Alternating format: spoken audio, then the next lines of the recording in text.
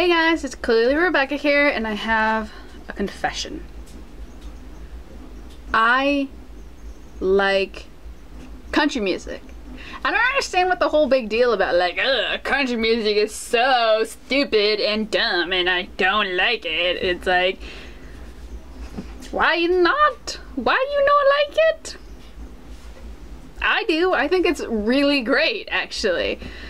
More than anything, I think what country music has over like top 40 hits is this really just funny sense of humor. I, I don't know, when I listen to like the country station, I am more likely to laugh than I am when I'm listening to a top 40 station. Or, you know, I'm, I'm at least more likely to chuckle or smile or giggle or whatever.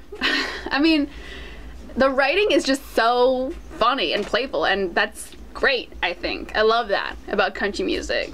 Like, right now, how's it go? There's a song by Easton Corbin. It's all like called All Over the Road. I'm gonna sing a little bit of it for you because I don't want to get in trouble by playing the song during my vlog and then like it'll get flagged and some people won't be able to see it because it's happened before. So yeah, um, the chorus bit of uh, All Over the Road by Easton Corbin goes, I know I'm all over the.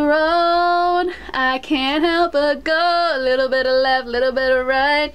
It's hard to drive with a hand over here on my knee and she's all over me. I'm out of control, all over the road. Like that's cute, that's funny. you and you would never hear like a, a rap song or you know a pop song like that. Fill in the blank by greg bates. That's hilarious. That's like a play on words. I love plays on words. I love clever word play which is why i love country music so much. Uh, it goes um, we've been planning this weekend for a week and a half. Hope you ain't thinking that we're moving too fast. The trip can be whatever that you want it to. I'll pick where we go, you can pick what we do. We could in the water, in the truck, on a blanket till the sun comes up. With each other on the riverbank. Yeah, I'll leave it up to you, maybe fill in the blank. It's like, really? That's, I mean, that's, I mean, it's a little racy, but it doesn't have to be if you don't want to. And I hilarious. My favorite country writer and uh, artist is Brad Paisley because he's so, he has such a good sense of humor and a lot of his songs are just so funny. Though um, one of them that's he's really popular uh, for is I'm Gonna Miss Her I can't sing it right, so I'm just gonna read you the lyrics, but they're hilarious. Well, I love her, and I love to fish. I spend all day out on this lake, and hell is all I catch. Today she met me at the door, said I'd have to choose. If I hit that fishing hole today, she'd be packing all her things, and she'd be gone by noon.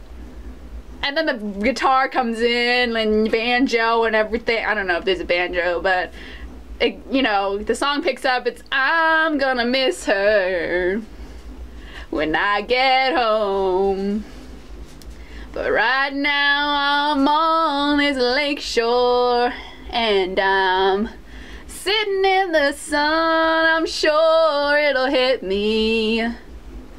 When I walk through that door tonight, I'm gonna miss her. Oh, looky there. I've got a bite. like, is that not funny to you? One of my other favorite songs by Brad Paisley is Ticks.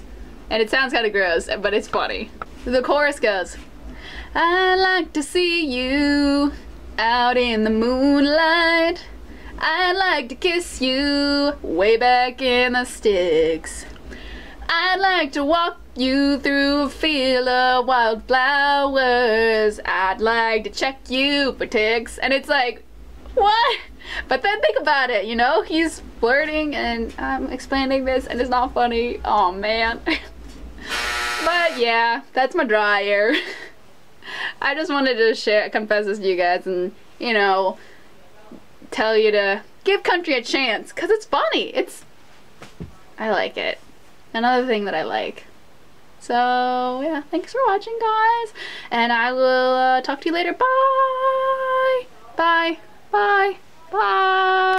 Have you ever been in cold so cold that like when you breathe? Book series, the whole comic book series explores this